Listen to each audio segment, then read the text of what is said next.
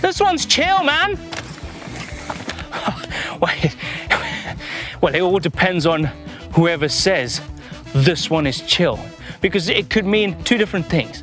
It could be this one's chill, could be a blue flow trail with berms, rollers, super flowy, not so fast, or it could be the other spectrum where it could be flat out full speed, big step ups, big step downs, big berms, rough, rocky, steep.